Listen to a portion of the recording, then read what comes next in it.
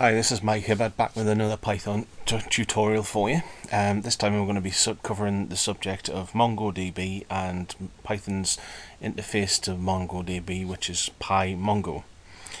Um, I'm going to discuss some of the similarities between the database systems that you might have used already, such as MySQL, and also some of the, the ways that they're different. So you can see that some of the stuff that you already have experience with uh, can lend itself to using uh, MongoDB as well. So the first thing you need to do is make sure that you have a running instance of MongoDB on your system. And if you haven't, then you need to go away and install that and get that up and running. Once you've done that, if you come back to this tutorial, then it'll take you through the parts of this, this tutorial that can deal with the Python side of things. So, the first part is basically to import uh, the module that we're going to use. Now we're not going to import the whole module, we're going to import part of the module because we're just going to do a simple basic uh, tutorial on, on, how to just get connected and start doing queries and inserting and updating and deleting records. So the first thing we need to know how to do is to import a connection class the connection class allows us to connect to the database, whether that's on your local machine or whether that's across the network. Um, so in some instances you can supply an IP address and a port number to the connection class. And in our case because it's an on my local machine I don't need to do that. It'll do that by default and automatically go to the the local host address. So the first thing we do obviously with the code is we create our if name equals main just so that we can know that this is the main module being run currently. And then we create a connection instance. And like I said because it's local machine we don't need to supply any IP addresses or port addresses or anything like that. We just basically say con equals connection. And that gives us a connection to the database that's running on my local machine.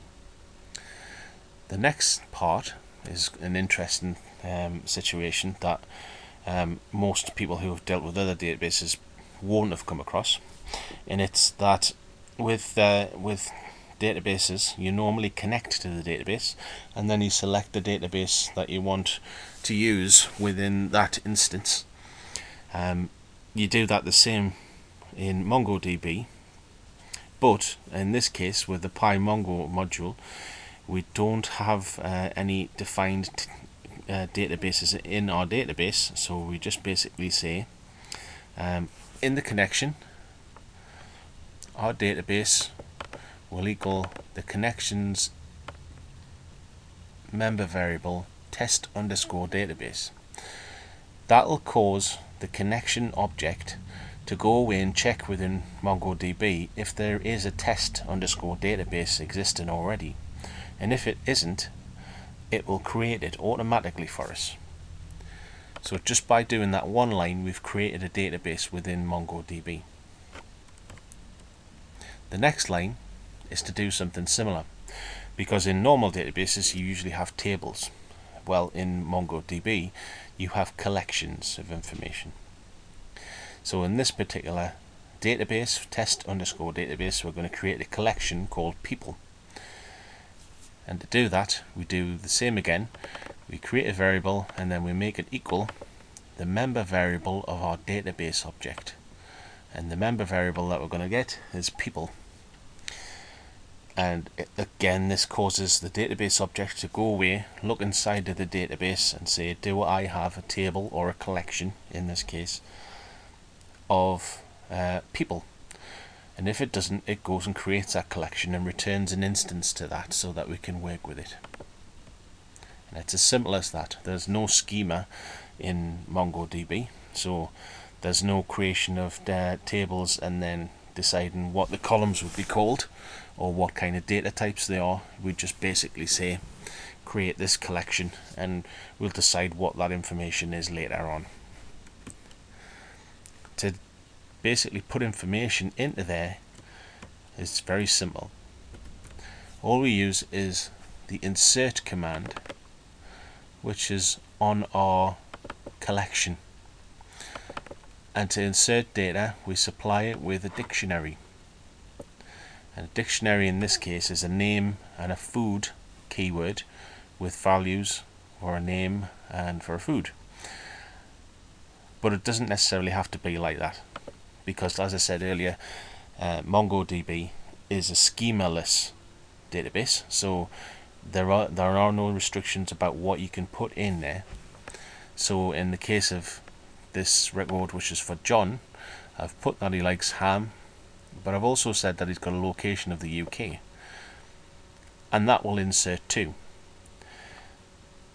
And again with this record I haven't supplied a location so I don't necessarily have to create all of the keys for every record that I insert and MongoDB will be fine with that.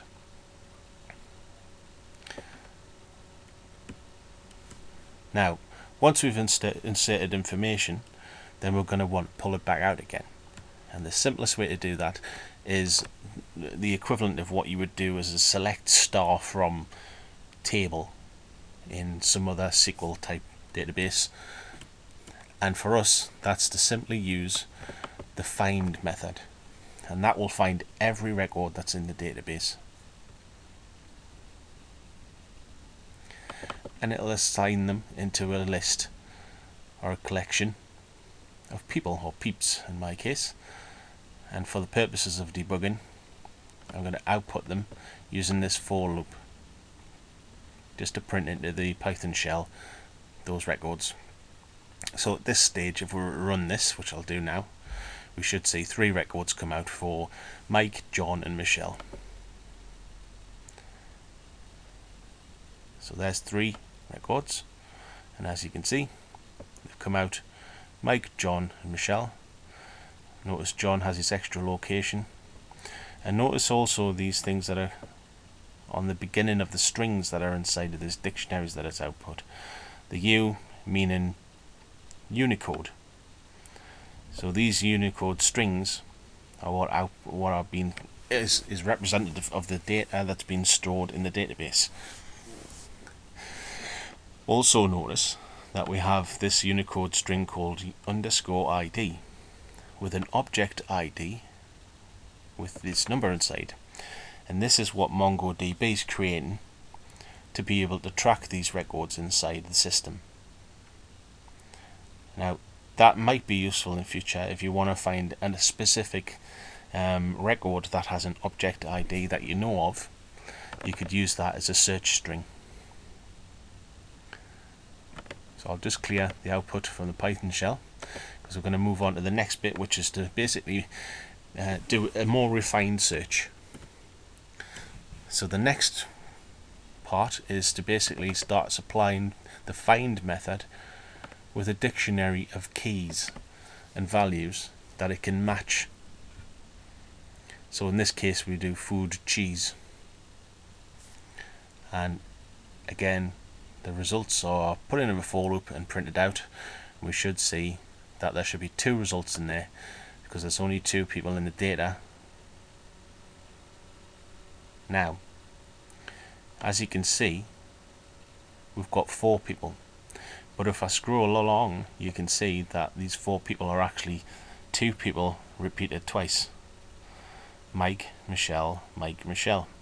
Why is that? well as you know we ran the program once before when we did this find command and it inserted three records that time around. And then we ran it again and then inserted another three for this test so as you can see any records that you create persist past the execution of your of your program. They're stored inside the ins ins instance of MongoDB, and they'll stay there until you clear them out. And I'm going to show you at the end of this program how to clear them out. But for the time being, you can see there that you'll get duplicates out. Now, our next section is to refine the search a little bit further and in the case of most SQL languages, you can do something um, called a like term, where you basically can put in your SQL string, uh, give me things that are like the following pattern. And you can do the similar a similar thing in MongoDB and PyMongo. but it's using regular expressions. So how do we do a regular expression and supply that to the find command? What we do is we do our normal find command, supply it with a column name or a, or a key, and instead of a value, we supply it with a reg regular expression.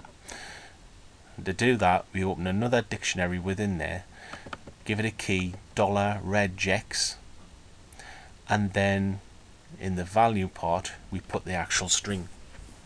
And in the case of this, I'm going to find everything that matches a capital M or a lowercase m and a lowercase i. And in that case, it should match our records Mike and Michelle. And obviously we've already got duplicate records in, so it'll pull out everything that matches that if we were to run that. But I'll not run that right now. I'll do that at the end once I've shown you how to remove records so we can clean up our data a bit. Now, the next section is how do we update a record? Well, to do that, we're going to use um, one special search function, which is called find one.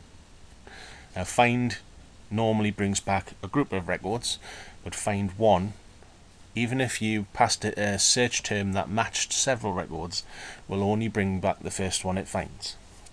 So there's there is a way to just pull back one record and only one record, and that's to use find one. So we're using that to say, give me any record or one record where the food key matches ham. And to do that, we're probably going to pull back John's record because you notice he matches that criteria.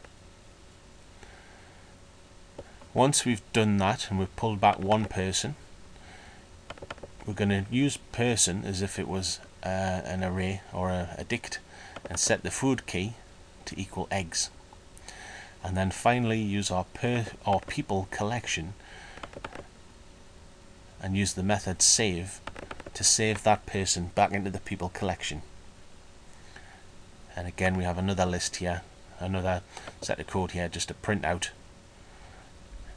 the updated record which should find the record where the food is now matching eggs. And now for our very last part of this part is just to basically find all of the records in the database and use the remove method on our collection to remove that person and that should effectively remove every record out of MongoDB that we've created for this collection so that we can clean up our data after we're finished. Um, you don't necessarily have to do that because obviously if you want records to persist past the running time of your program then you'll want to keep them in there but in for the purposes of my demonstration I want to remove them so that I don't have all these duplicates that we've been printing out here. So I'm going to run it once. Then I'm going to run it again. And we'll see that it's removed all of the duplicates in there. And now in my Python window my console I see my find insert and find test brings back three records as we programmed it to do then find with dict where we said match where the food equals cheese just here.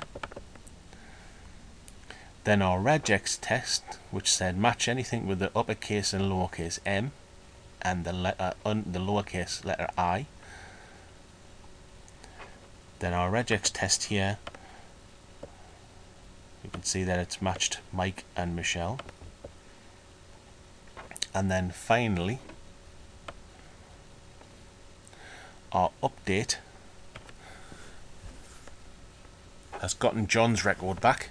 We updated the food to eggs and then we saved it and now we find anybody in the database that has this food setting as eggs and print that person and here we can see on the bottom line that record is only one and it's John as we expected So that concludes my uh, tutorial on using PyMongo to interface with Py with MongoDB. I hope you enjoyed that and if you did then please click the like button.